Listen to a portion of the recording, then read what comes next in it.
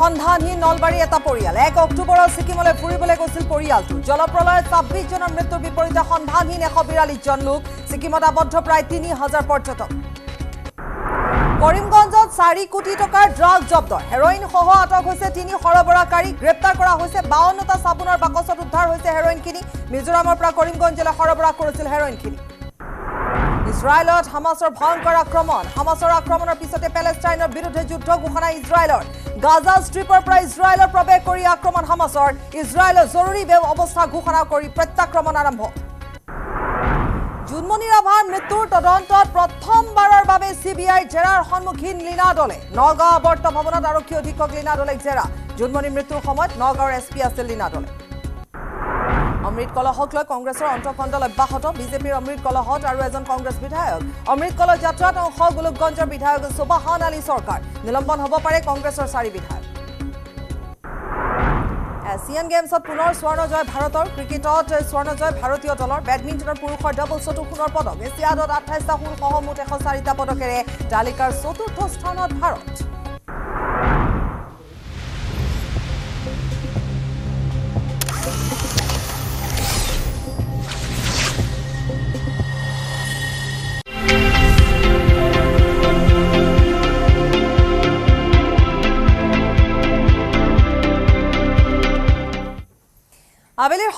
স্বাগতম আৰু ষ্টুডিঅ'ত মই পাপৰি। এছিয়ান গেমছৰ খবৰ। এছিয়ান গেমছত পুনৰ ভাৰতৰ স্বৰ্ণ জয় ক্ৰিকেটৰ স্বৰ্ণ জয় ভাৰতীয় দলৰ। বৰষুণৰ বাবে আধাতে বন্ধ কৰি দিয়া হৈছিল খেল। বাছনি শীৰ্ষত থকা ভাৰতীয় দলক বিজয়ী ঘোষণা কৰা হৈছে। বেডমিণ্টনৰ পুৰুষৰ ডাবলছতো সোণৰ পদক। সঠিক চিৰাগৰ যুটিয়ে জিনিলে সোণৰ পদক। ইতিহাস ৰচি এডিয়াটত ভাৰত এছিয়াডত ভাৰতৰ এশ দুটা পদক সাতাইছটা সোণ পঁয়ত্ৰিছটা ৰূপ আৰু চল্লিছটা ব্ৰঞ্জৰ পদক অৰ্জন কৰা হৈছে আৰু পদকৰ তালিকাৰ চতুৰ্থ স্থানত আছে ভাৰত। এই ঐতিহাসিক এছিয়ান গেমছ কেৱল ভাৰতৰ বাবেই নহয় অসমৰ বাবেও ঐতিহাসিক। অসমৰ তিনিগৰাকী খেলুৱৈ হাংঝৌ এছিয়ান গেমছত লাভ কৰিছে পদক। মহিলাৰ বক্সিঙত লাভলীনা বৰগোহাঁই ৰূপৰ পদক জয় কৰাৰ বিপৰীতে মহিলা ক্ৰিকেটৰ স্বৰ্ণজয়ী ভাৰতীয় দলত আছিল অসমৰ উমা চেত্ৰী আৰু মহিলাৰ স্বৰ্ণজয়ী চেপাক টাক্ৰ খেলত আছিল। অসম কন্যা প্ৰিয়া দেৱী। দুহেজাৰ ওঠৰৰ এছিয়ান গেমছত সত্তৰটা লাভ কৰিছিল পদক। লাভ কৰিছিল ষোল্লটা সোণ তেইছটা ৰূপ একত্ৰিছটা ব্ৰঞ্জ। সেয়া আছিল এছিয়ান গেমছত সৰ্বাধিক পদক পোৱাৰ অভিলেখ। ঊনৈছশ একাৱন্ন চনত ভাৰতে আয়োজন কৰিছিল দিল্লীত এছিয়ান গেমছ। ঊনৈছশ একাৱন্নত ভাৰতে একাৱন্নটা মুঠ পদক লাভ কৰিছিল। আৰু পোন্ধৰটা সোণ ষোল্লটা ৰূপ বিছটা ব্ৰঞ্জ আছিল। ঊনৈছশ একাৱন্নৰ পৰা দুশ দুহেজাৰ ওঠৰলৈকে সৰ্বাধিক সোণ পোৱাৰ অভিলেখ। দুহেজাৰ ওঠৰতহে এই ৰেকৰ্ড ভংগ কৰে ভাৰতে নিজেই আৰু এইবাৰ এশটা পদক জয় কৰি ভাৰতে আকৌ ৰচিলে ইতিহাস।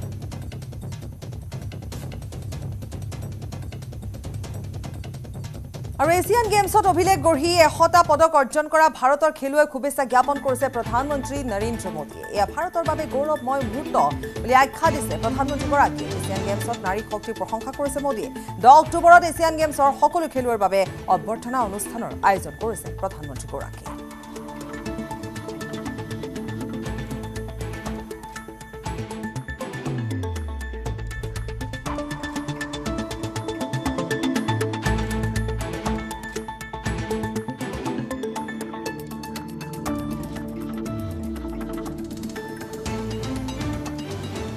দেশজুৰি এনেধৰণে আনন্দ উল্লাস দেখিবলৈ পোৱা গৈছে আৰু প্ৰত্যেকগৰাকীয়ে এনেধৰণে আনন্দ কৰিছে।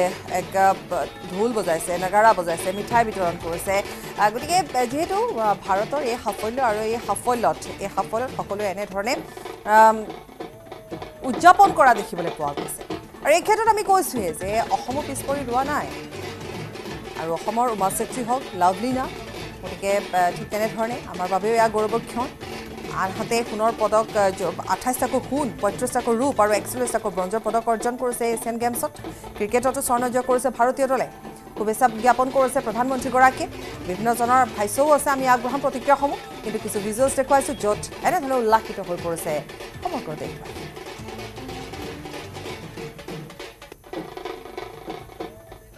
बहुत खुश हूँ आज मुझे मैं बैठ ही नहीं पा रही हूँ। ऐसा लग रहा है कि मैं मैंने वो सौ मेडल जीते हुए जो खुशी हो रही है। I think it is fantastic and this is I would say कि it's not a fluke let me tell you कि ऐसे ही नहीं हुआ है। इसके पीछे बहुत सारा प्लानिंग और uh, uh, बहुत सारे एफर्ट्स uh, रहे हैं। And definitely we must thank the government जो एफर्ट्स uh, गवर्नमेंट ने लिया है इसके पीछे। इन ऑल एंगल्स मतलब हर सपोर्ट uh, उन्होंने प्रोवाइड किया है प्लेयर्स के लिए। हम बोलते हैं कि 360 का डिग्री का सपोर्ट पूरा प्लेयर्स को जाता है और प्लेयर्स को बस जाके वहाँ पे अपना परफॉर्मेंस और 100 परसेंट देना है। तो ये बहुत इंपॉर्टेंट है और इसका रिज़ल्ट हमने आज देखा है और we are going to cross 100 also Congratulations, Team India, for this fantastic uh, achievement at the Asian Games. 100 and counting is a great, great achievement. Uh, what I'd like to say is, you know, uh, we have seen great performances across events. It's not just athletics, but across disciplines. And this is a great motivator for the 2024 Olympics. Uh, what I saw is a mind shift change, the ability and the confidence to approach an event just purely focusing on winning a medal. It goes to show uh, that India is on the right path, Indian athletes are on the right path. Thank you to all the government support, uh, emotionally, you know, financially, psychologically. Uh, I think the all-round support that has been provided by the government, by the team coaches, and the support staff, and of course, families of every athlete. চীনত অনুষ্ঠিত হৈ থকা Asian গেমছত ভাৰতে এশ পদকৰ সংখ্যা স্পৰ্শ কৰিবলৈ সক্ষম হ'ল। প্ৰথমবাৰৰ বাবে এশটা পদক লাভ কৰিবলৈ সক্ষম হোৱাত আনন্দ প্ৰকাশ কৰিছে অৰ্জুন ভোগেশ্বৰ বৰুৱায়ো। দেশৰ খেলুৱৈসকলে সুন্দৰ প্ৰদৰ্শন আগবঢ়াইছে বুলি মন্তব্য কৰিছে প্ৰবীণ ক্ৰীড়াবিদগৰাকীয়ে। অসমৰ খেলুৱৈয়েও পদক লাভ কৰাত সন্তোষ প্ৰকাশ কৰাৰ লগতে নতুন খেলুৱৈসকলেও উৎসাহ প্ৰেৰণা লাভ কৰিব বুলি মন্তব্য কৰিছে অৰ্জুন ভোগেশ্বৰ বৰুৱাই। খুব আনন্দ পাইছোঁ আৰু খেল চাই আছোঁ টিভিয়ে চিভিয়ে ভাল লাগিছে। কিন্তু অসমখন ভালমানখিনি আগবাঢ়ি গ'ল। এইটো কথাত মই বৰ সুখী। আৰু ক্ৰীড়া নীতিটো আমাৰ অসমত নাইকিয়া হ'ল। সেইটো কাৰণে মই ভাবোঁ ক্ৰীড়া নীতিটো খুব সোনকালে চৰকাৰে হাতত ল'ব লাগে। আৰু ল'ৰা ছোৱালীবিলাক প্ৰডাকশ্যনটো নাইকিয়া হৈ গ'ল। ক্ৰীড়া নীতিটো যে নাই সেই গতিকে প্ৰডাকশ্যনটো নাইকিয়া হৈ গৈছে। প্ৰডাকশ্যনটো কৰিবলৈ হ'লে ক্ৰীড়া নীতিটো সম্পূৰ্ণ লাগিব। আশা ৰাখিছোঁ যাতে চৰকাৰে এইবিলাক দেখি মেলি চৰকাৰে কথাটো আগবঢ়াই লৈ যায়। আৰু মানে ভাললৈ আহিব অসমখন। কৰিমগঞ্জত চাৰি কোটি টকাৰ হেৰইন জব্দ। পাঁচশ আঠষষ্ঠি গ্ৰাম হেৰইনসহ আটক হৈছে তিনি সৰবৰাহকাৰী।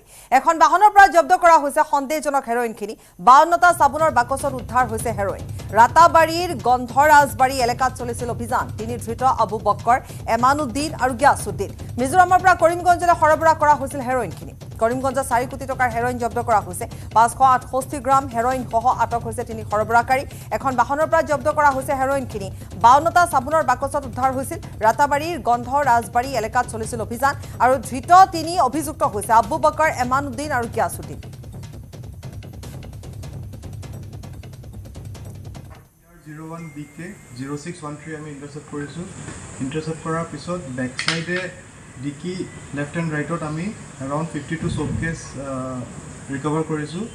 যাৰ ৱেইট আছে approximately five sixty eight grams of suspected heroin আৰু গোটেইখিনি ছিক্ৰেট চেম্বাৰত আছিলে। আমি ছিক্ৰেট চেম্বাৰটো ব্ৰেক কৰি পেলাই এইটো উলিয়াইছোঁ।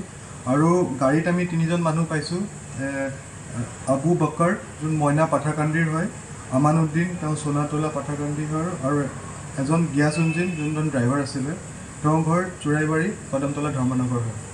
আৰু গাড়ীখন আইজলৰ পৰা অহা বুলি তেওঁলোকে আমাক ইণ্টাৰভিউশ্যনত কৈছে আৰু যোনটো ফাইনেল পইণ্ট আছিলে তেওঁলোক সোণাতলা গৈ আছে।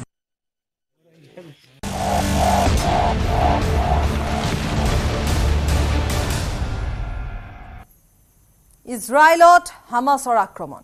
হামাছৰ আক্ৰমণৰ পিছতে এতিয়া যুদ্ধ ঘোষণা কৰিছে ইজৰাইলে। পেলেষ্টাইনৰ বিৰুদ্ধে যুদ্ধ ঘোষণা কৰিছে ইজৰাইলে। পেলেষ্টাইনৰ সন্ত্ৰাসবাদী সংগঠন হৈছে হামাছ। গাজা ষ্ট্ৰীপ পাৰ হৈ ইজৰাইলত আক্ৰমণ হামাছৰ। বিছ মিনিটত পাঁচ হাজাৰৰো অধিক ৰকেটেৰে আক্ৰমণ কৰে ইজৰাইলৰ প্ৰৱেশ কৰি গুলীবৰ্ষণ সন্ত্ৰাসবাদী সংগঠন হামাছৰ। যুদ্ধ বিমানেৰে প্ৰত্যাক্ৰমণ ইজৰাইলৰো। এজন সাধাৰণ লোক নিহত হৈছে। কেইবাজনো আহত হৈছে। দহজনৰো অধিক ইজৰাইলী সেনা নিহত হোৱাৰ খবৰ আহিছে। অল আকছা ফ্লাড অপাৰেশ্যন ঘোষণা হামছাৰ। হামাছৰ ঘোষণা হামাছে ঘোষণা কৰিছে অল আকছা ফ্লাড অপাৰেশ্যন সীমান্ত পাৰ হৈ ইজৰাইলত আক্ৰমণ কৰিছে পেলেষ্টাইন। আক্ৰমণত নিহতৰ সংখ্যা বৃদ্ধি হোৱাৰো আশংকা আছে। ইজৰাইলৰ ৰাজধানী টেল আবিভ আৰু জেৰুজালেমক লক্ষ্য কৰি হামাছৰ আক্ৰমণ। ইজৰাইলৰ ডিফেন্স ফ'ৰ্চ দুজন সেনাক অপহৰণৰ খবৰ আহি পৰিছে। ইজৰাইলত জৰুৰীকালীন অৱস্থা ঘোষণা কৰা হৈছে। ইজৰাইলৰ এই ইজৰাইলৰ দৃশ্য দেখুৱাইছোঁ। এনেধৰণে আক্ৰমণ কৰিছে ইজৰাইলত হামাছে আক্ৰমণ কৰিছে হামাছৰ আক্ৰমণত যুদ্ধ ঘোষণা কৰিছে ইজৰাইলে পেলেষ্টাইনৰ বিৰুদ্ধে যুদ্ধ ঘোষণা পেলেষ্টাইনৰ সন্ত্ৰাসবাদী সংগঠন হৈছে হামাছ। আৰু গাজা ষ্ট্ৰীপ পাৰ হৈ ইজৰাইলত আক্ৰমণ কৰিছে বিছ মিনিটত পাঁচ হাজাৰৰো অধিক ৰকেটেৰে আক্ৰমণ কৰিছে হামাছে। ইজৰাইলত এতিয়া যুদ্ধৰ পৰিৱেশ। ইজৰাইলত প্ৰৱেশ কৰি গুলীবৰ্ষণ সন্ত্ৰাসবাদী সংগঠন হামাছৰ।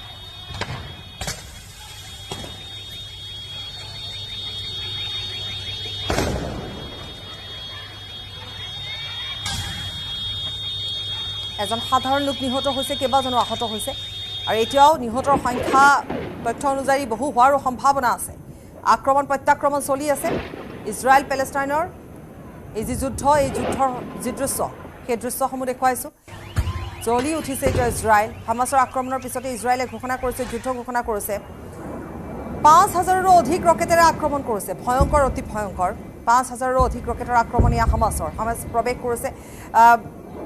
যুদ্ধ বিমানেৰে প্ৰত্যাক্ৰমণ কৰিছে ইফালে ইজৰাইলে হাহাকাৰ সাধাৰণ ৰাইজৰ কৈছোৱে সাধাৰণ জনতা এজন লোকৰ মৃত্যু হৈছে কেইবাজনো আহত হৈছে মৃতকৰ সংখ্যা বৃদ্ধি পোৱাৰ সম্ভাৱনা আছে জৰুৰীকালীন অৱস্থা ঘোষণা কৰিছে। সীমান্ত পাৰ হৈ ইজৰাইলত আক্ৰমণ কৰিছে পেলেষ্টাইনে। নিহত হোৱাৰ সংখ্যা সময় অনুযায়ী বৃদ্ধি পাব। এয়া আক্ৰমণ বৃহৎ বৃহৎ অট্টালিকা এনেধৰণে ধ্বংসস্তূপত পৰিণত হৈছে। ישראל, אנחנו במלחמה. לא במבצע, לא בסבבים, במלחמה. הבוקר חמאס פתח במתקפת פתע רצחני נגד מדינת ישראל ונגד אזרחיה. אנחנו בתוך זה משעות הבוקר המוקדמות. כינסתי את ראשי מערכת הביטחון, הנחיתי קודם כל לטהר את היישובים מהמחבלים שחדרו פנימה, הפעולה הזאת מתבצעת בשעות הללו. במקביל הוריתי לבצע גיוס מילואים נרחב ולהשיב מלחמה שערה בעוצמה ובהיקף שהאויב לא הכיר. האויב ישלם מחיר שהוא לא ידע כמותו. אני קורא בינתיים לכל אזרחי ישראל להישמע בקפדנות להנחיות הצבא, להנחיות פיקוד העורף. אנחנו במלחמה ואנחנו ננצח בה. সাধারণ স্টিল এনেকৈ পৰে মাইথন স্টিল এনেকৈ পৰে ধমকৈ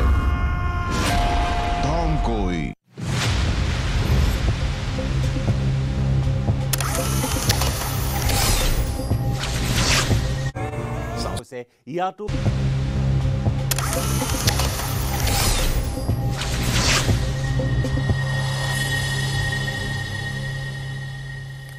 আবেলিৰ সংবাদৰ পৰৱৰ্তী অংশলৈ উভতি আহিছো।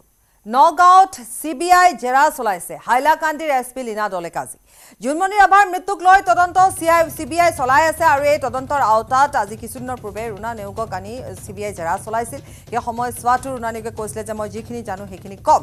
আৰু যেনেধৰণে জেৰা অব্যাহত ৰখা হৈছে আৰু বিশেষকৈ আজিৰ দিনটোত এছ পি লীনা দলেক আজি জেৰা চলোৱা হৈছে। নগাঁৱৰ এছ পি আছিল সেই সময়ছোৱাত যি সময়ছোৱাত জোনমণি ৰাভাৰ দুৰ্ঘটনাটো সংঘটিত হৈছিল। নগাঁও আৱৰ্ত ভৱনত লীনা দলেক জেৰা চলাইছে আজি চি বি আই।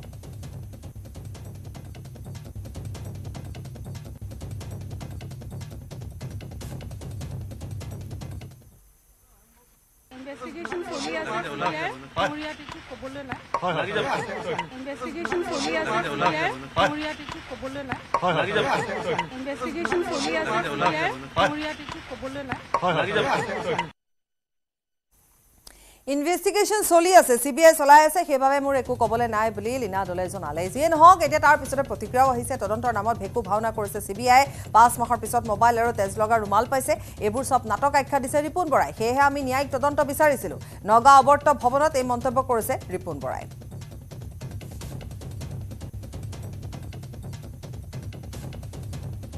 চৰকাৰৰ আমোলত এইবিলাক এইবিলাক হৈছে পুতলা এজেঞ্চি। এইবিলাক পুতলা এজেঞ্চি এইবিলাকে কোনো নিৰপেক্ষভাৱে তদন্ত কৰিব নোৱাৰে। আমি সেইকাৰণে কৈছিলোঁ জুডিচিয়েল এনকুৱাৰী আমি তেতিয়াই বিচাৰিছিলোঁ। আমি হাইকোৰ্টৰ এগৰাকী ছিটিং জাজৰ যোগেদি আমি ন্যায়িক তদন্ত আমি তেতিয়াই বিচাৰিছিলোঁ আৰু এতিয়াও আমি ক'ম।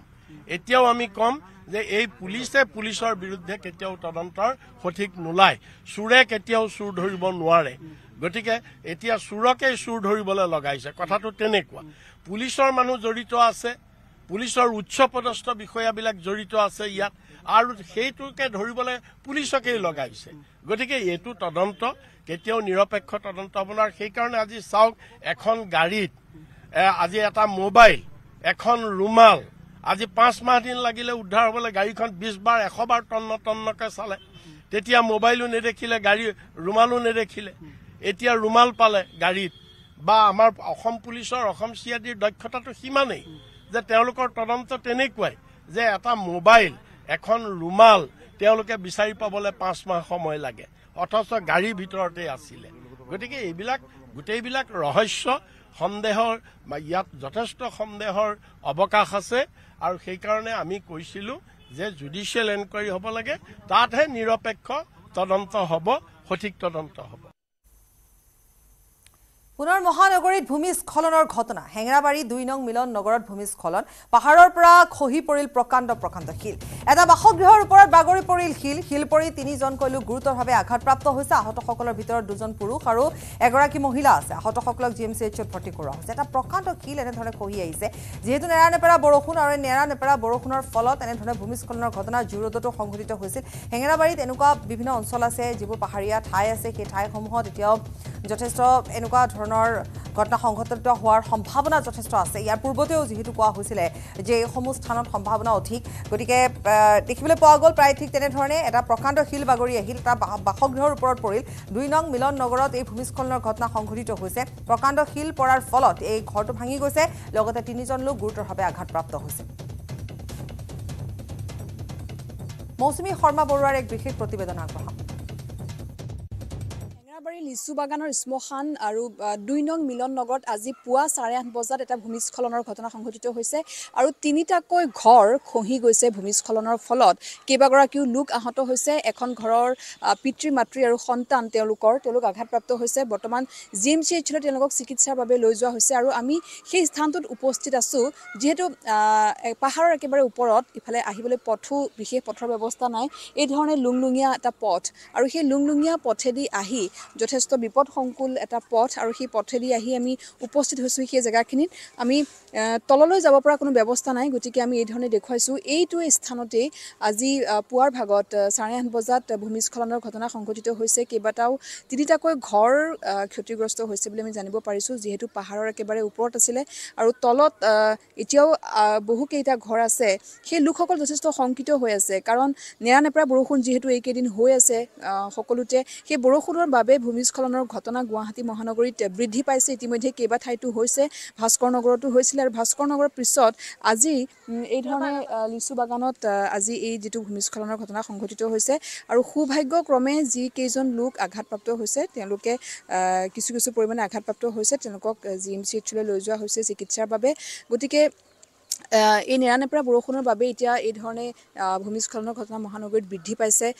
যিহেতু বৰষুণৰ বাবে এতিয়া পাহাৰৰ মাটি এইদৰে খহি গৈছে। আৰু তলৰ যিসকল লোক আছে তেওঁলোক শংকাত আছে আচলতে। যদি পুনৰ তেনেকুৱা ধৰণৰ ঘটনা হয় সংঘটিত হয় তেনেহ'লে এইসকল লোকৰ বাবে বিপদ নামি আহিব বিপদ মাতি বিপদ নামি আহিব পাৰে। গতিকে দিনে বা নিশা তেওঁলোকে যথেষ্ট শংকাত দিন পাৰ কৰিব লগা হৈছে। কাৰণ ভূমিস্খলন কোন সময়ত কেতিয়া হয় সেয়াটো কোনেও ক'ব নোৱাৰিব। কাৰণ নেৰানেপেৰা বৰষুণ যিহেতু হৈ আছে। বাইদেউ গম কেতিয়া গম পাইছে? ৰাতিপুৱা হৈছে আজি? হয় আমি চাৰে আঠমান বজাত গম পাইছোঁ। মানে বহুত ডাঙৰকৈ শব্দ ওলাইছে। তাৰপিছত আমি মানে শুনিব পালোঁ যে ওচৰৰে আমাৰ পৰা অলপমান মানে দূৰ হয় বেছি দূৰ নহয়। তাৰপিছত আমি এতিয়া বৰ্তমান চাব আহিছোঁ চাব আহিলেও ভালদৰে মানে চাব পৰা নাই। কাৰণ বহুত জংঘল হৈ আছে ৰাস্তাটো বহুত বেয়া। সেইটো কাৰণে এতিয়া এনে শুনিব পৰা মতে এখন ঘৰত তিনিজন মানুহ আছিল। তেখেতসকলৰ পিতৃ মাতৃৰ অকণমান মানে ইনজুৰ হৈছে আৰু বাচ্ছাটো বৰ্তমান একো হোৱা নাই বুলি জানিব পৰা গৈছে। এতিয়া আমিও চাবহে আহিছোঁ। তিনিটা ঘৰ হৈছে নেকি? অঁ তিনিটা ঘৰৰ মানে অকণমান অকণমান মানে ভাঙি যোৱা বুলি শুনিছোঁ। বাকী এতিয়া আৰু আপোনালোকে দেখিছে কি হৈছে। বৰষুণ হৈ থকাৰ কাৰণে বৰষুণ হৈ থকাৰ কাৰণে হৈছে। নেৰা নেপেৰা বৰষুণ আজি তিনি চাৰি দিন হৈয়ে আছে সেইটোৰ কাৰণে হৈছে। আৰু পাহাৰৰ ওপৰত যিহেতু অঁ পাহাৰৰ ওপৰত বহুত পাহাৰৰ ওপৰত আৰু ৰাস্তাই নাই এনেকুৱা। আহিবৰ কাৰণে বহুত প্ৰব্লেম।